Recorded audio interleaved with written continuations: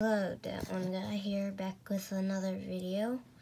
And today we're gonna uh, make a custom Lego Captain Rex from the Bad Batch.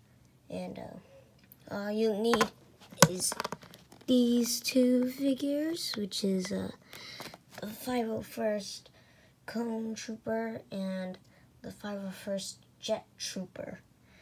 So yeah, let's get into it. So first, you're gonna take either one of their heads, which is um, kind of dark, dark, yeah, I know, and just put that down right now.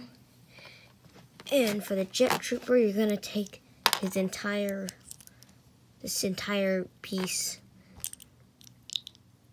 but um, take that entire piece and then you're gonna get also you have to get a, a hood piece and two capes.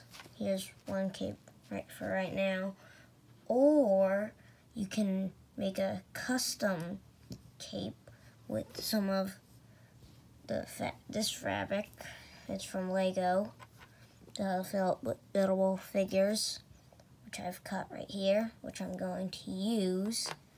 And it's really simple. It's like pure custom, kind of. And you can give them a 501st helmet if you wanted to. So, let me first make the figure.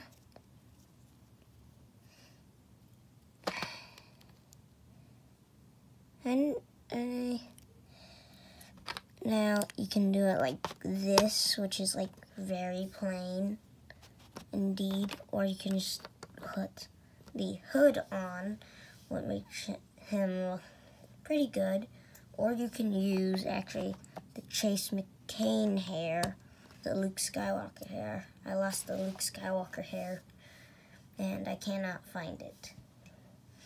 But there's your purest custom one but and I'm just gonna add this on but I'm gonna I can also use my regular one my regular her um, Captain Rex to make it which I just take off the pauldron put the uh, cape on put his head back on and then put his hood back on and then it looks better kind of, and also looks better with the helmet.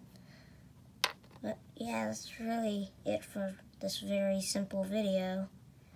And I may or may not make more videos, like an Obi-Wan Kenobi or Cal Kestis or Bo-Katan, I don't know. Just, just keep up with my videos. I don't post regularly, but make sure to like, subscribe, and that one guy signing out.